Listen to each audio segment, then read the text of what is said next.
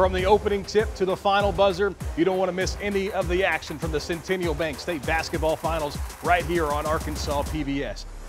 All 12 games from Bank OZK Arena in Hot Springs began on March 7th and run all weekend long. All the best plays, all the biggest moments, and of course, all the championship celebration can be watched live right here on Arkansas PBS. For all the ways to watch and a complete schedule, go to myarpbs.org slash sports.